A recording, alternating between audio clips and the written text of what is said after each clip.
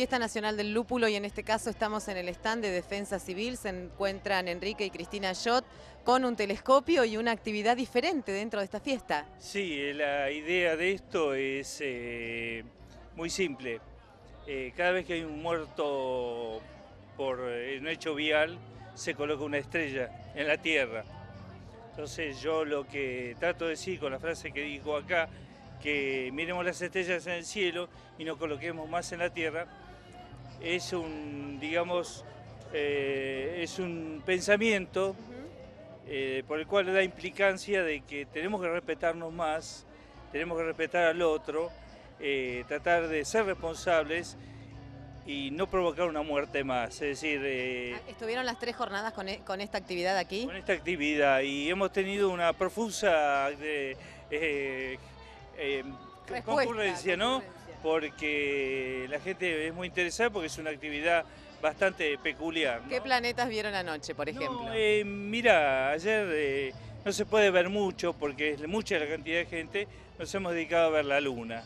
Eh, la gente le, le, encantó un montón, sobre todo los chicos que se suben y bueno, y para ellos es una cosa muy, muy eh, sorprendente, ¿no? Bueno, Enrique, a los visita la gente, dialoga con ustedes y están haciendo una colecta de firmas. Sí, exacto. Esto por la ley de delitos viales. Esta ley que está frenada por un diputado de acá de la provincia de Río Negro, el doctor Alvero, eh, que es presidente de la Comisión de Asuntos Penales de la Cámara de Diputados.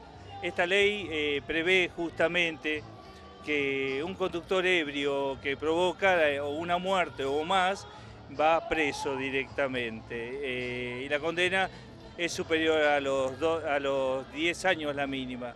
Eh, nosotros no queremos ser... Dice que buscamos venganza nosotros.